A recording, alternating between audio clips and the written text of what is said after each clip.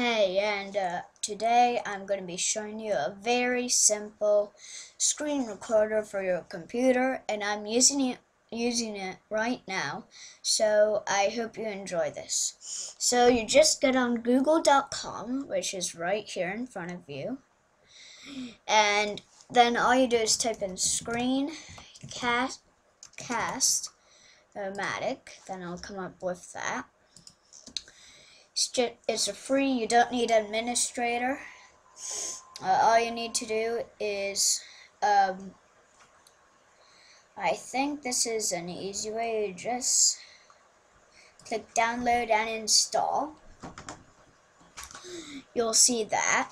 Then you just click that button right there. Now I'm using uh, Windows 7, so and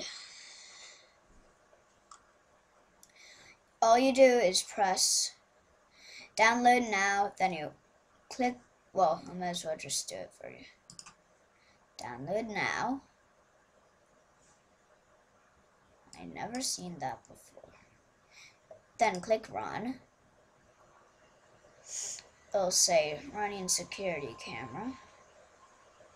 Then just uh, just ignore that just uh, do all of this. It'll say next, and uh, you'll do all of this. After it's installed, go to your home screen, press your Windows button.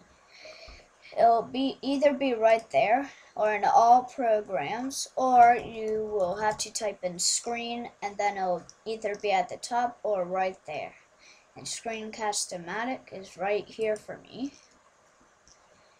And it's very simple. I already have it up, so I'm not sure it's going to get up. So, it's very easy and simple, so it's a great thing to use. So, yeah, and uh, bye.